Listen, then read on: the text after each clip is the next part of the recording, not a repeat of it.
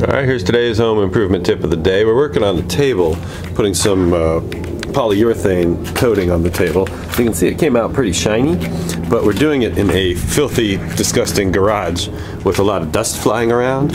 And so tip number one is, before we did this, um, I'm standing out in the driveway right in front of the garage door. So before we did it, we hosed down the ground so that it was wet so we wouldn't kick up any dust.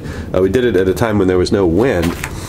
And then, uh, and you can see it, it came out pretty good. There's not a lot of, not a lot of uh, warps or dust or uh, any kind of environmental variables that got in it. And so what we did was just laid down the coating of polyurethane and then I built this box out of an old trampoline box we had lying around. So once you painted it, you of course want to make sure there's nothing in the box that's going to fall out onto your beautiful table.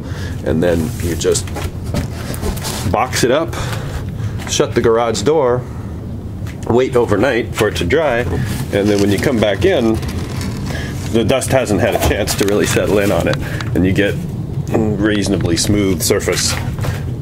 So that's what you do. Obviously, if you really want to do a good job, you want to be in a dust-free environment, but I do not have a dust-free environment, so this is going to be good enough.